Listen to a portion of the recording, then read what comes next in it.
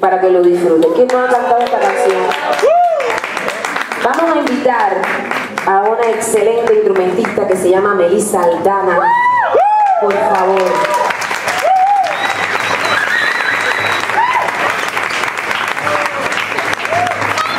Qué lindo.